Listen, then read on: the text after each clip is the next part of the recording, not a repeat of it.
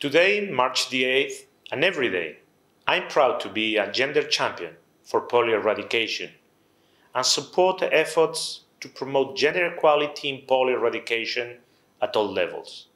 Today, we honor all the women involved in polio eradication in Pakistan, Afghanistan, Chad, and in all the countries where this devastating disease is still paralyzing children women vaccinator, social mobilizer, scientists, managers, data experts, all work tireless to eradicate polio for good.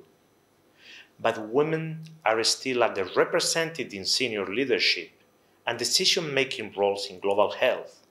And these gaps in leadership are driven by stereotypes, discrimination, and power imbalances that we are all responsible to tackle. Today, as Minister of Foreign Affairs, European Union and Cooperation, I recall the explicit commitment of this ministry to develop a feminist foreign policy to incorporate gender equality as a distinctive element.